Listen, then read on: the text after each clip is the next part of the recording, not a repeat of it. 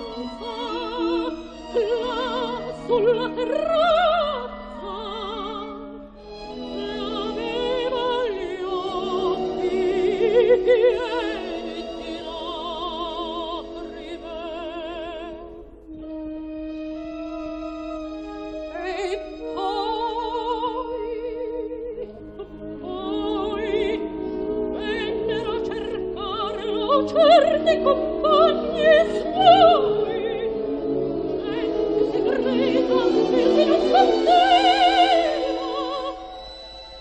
Carbonari m'han detto ed ecco un giorno